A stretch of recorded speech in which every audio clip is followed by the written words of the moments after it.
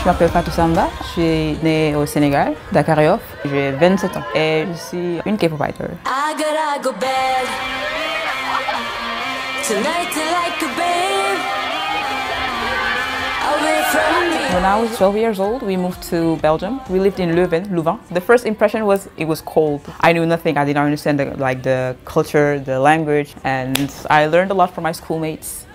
And it's also here in Belgium that I got to know about K-pop when I was about 15 years old. Something about K-pop just kind of sucked me in, I guess.